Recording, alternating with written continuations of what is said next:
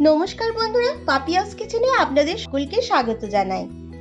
আশা করি সকলে ভালো আছেন। আজ চলে এসেছি আরও একটা নতুন পর্বে নতুন রেসিপি নিয়ে। আজকের রেসিপি হচ্ছে হোমমেড খোয়া ক্ষীর। বন্ধুরা, বাড়িতে কীভাবে খোয়া ক্ষীর বানাবেন সেই রেসিপিটি আমি আজ আপনাদের সাথে শেয়ার করব। খোয়া ক্ষীর আমাদের পিঠে পুলি বানাতে, পাটি সাপটা বা বিভিন্ন রকম মিষ্টির ক্ষেত্রে ব্যবহার করা হয়। দোকান থেকে যে আমরা খোয়া ক্ষীরটা নিয়ে আসি, সেটা মাঝে মাঝে দেখবেন খুব একটা টেস্টি হয় না। কিন্তু এই টেস্টি খোয়া ক্ষীর আপনারা বাড়িতেই কিন্তু বানাতে পারবেন খুব সহজেই। তো চলুন আমি আজকে আপনাদেরকে দেখিয়ে দিই কীভাবে বানাবেন বাড়িতে এই খোয়া ক্ষীর। আমি আজ আপনাদের সাথে দু রকমের খোয়া ক্ষীরের রেসিপি শেয়ার করব। গুড়ের খোয়া ক্ষীর আর একটা এরকম নর্মাল যে খোয়া ক্ষীরটা তৈরি সেই খোয়া ক্ষীরটা। তো চলুন বন্ধুরা, দেখে নিই কীভাবে বানাচ্ছি এই খোয়া ক্ষীরের রেসিপিটি খোয়া ক্ষীর বানানোর জন্য আমি এখানে পাঁচশো এমএল দুধ নিয়ে নিয়েছি। দুধটা গরম হতে দিয়েছি। দুধটা গরম হওয়ার আগেই আমি ওর মধ্যে দিয়ে দিচ্ছি এক কাপ আমুল দুধ। এটা আমি আমুল স্প্রে দুধ নিয়েছি। আমুল স্প্রে দিয়ে করলে কিন্তু খুব সুন্দর টেস্টটা হয়। আমূল্য বা অন্য কোনো দুধ দিয়ে করলে এতটা টেস্ট হয় না। আমুল স্প্রে দিয়ে করবেন তাহলে খুব ভালো লাগবে। আমি এক কাপ আমুল স্প্রে নিয়ে নিয়েছি। সেটা দিয়ে আমি ভালোভাবে মিক্স করে নিচ্ছি। ঠান্ডা থাকতে থাকতেই মিক্স করতে হবে। এরপর এটা আমি ফুটতে দেব। ফুটিয়ে ফুটিয়ে আমি অর্ধেক করে নেব। আমি কিন্তু অনবরত দুধটা নেড়ে যাচ্ছি, নইলে কিন্তু তলায় লেগে যাবে। দেখুন, দুধটা আমাদের অনেকটা ফুটে ফুটে কমে এসছে, অর্ধেক হয়ে এসেছে। আমি মিনিট দশ ধরে এটা নাড়তে থেকেছি, নেড়ে নেড়ে আমি অর্ধেক করে নিয়েছি।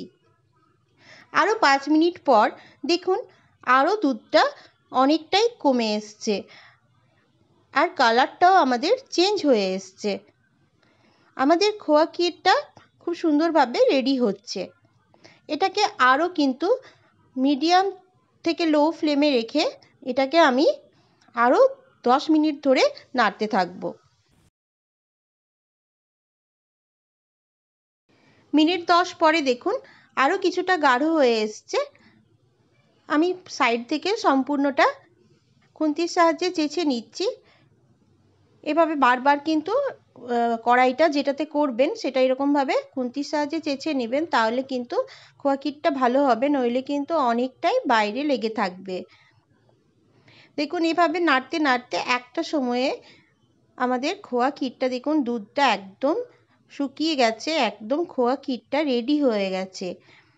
খুব সুন্দরভাবে রেডি হয়ে গেল আমাদের পারফেক্ট খোয়া ক্ষীর এভাবে করলে কিন্তু আপনাদের এই পর্যায়ে তৈরি হয়ে গেল খোয়া ক্ষীরটা এরকম নর্মাল খোয়া ক্ষীর এটা আপনারা বাটিতে একটা তুলে রাখতে পারেন। দিয়ে মিষ্টিতে পিঠে পুলিতে ইউজ করতে পারেন। আর যদি মিষ্টি একটু খেতে চান, তাহলে এর মধ্যে একটু চিনিও অ্যাড করতে পারেন অথবা গুড়। দেখুন, আমি গুড় দিয়েও আপনাদেরকে দেখিয়ে দিচ্ছি। ঠিক এই পর্যায়ে আপনারা একটুখানি গুড় এর মধ্যে অ্যাড করতে পারেন। দেড়শো গ্রামের মতন আমি খেজুর গুড় অ্যাড করলাম। গুড়টা আমাদের মেল্ট হয়ে গেছে। এবার আমি গ্যাসটা বন্ধ করে দিচ্ছি। দেখুন, এটা একটু পরে কিন্তু আরও একটু ড্রাই হয়ে যাবে, শক্ত হয়ে যাবে। এই সেই জন্য বেশি কিন্তু শুকনো করব না। আমাদের দু ধরনের খোয়া ক্ষীর রেডি হয়ে গেল। বন্ধুরা, এটা হচ্ছে নর্মাল যে খোয়া ক্ষীরটা প্রথমে বানালাম, সেটা দেখুন খুব সুন্দর তৈরি হয়েছে খোয়া ক্ষীরটা আর এটা হচ্ছে যেটা গুড় দিয়ে বানালাম, সেটা। আমি দুই ধরনেরই খোয়া ক্ষীর বানিয়েছি। তো বন্ধুরা, আমার এই খোয়া রেসিপিটি কেমন লাগল আমাকে অবশ্যই কমেন্ট করে জানাবেন। আর ভিডিওটি ভালো লাগলে অবশ্যই লাইক করবেন। আর যে সমস্ত নতুন বন্ধুরা আছেন, তারা অবশ্যই আমার চ্যানেলটা সাবস্ক্রাইব করে দিন। আর পাশে থাকা বেল আইকনটা অবশ্যই প্রেস করবেন, যাতে আমার দেওয়া সেরা রেসিপিগুলো সবার আগে পৌঁছে যায় আপনাদের কাছে। তো বন্ধুরা, আজকের মতো এখানেই বিদায় জানাই। দেখা হচ্ছে পরবর্তীতে নতুন রেসিপির সাথে। ভালো থাকবেন, সুস্থ থাকবেন। Thank you by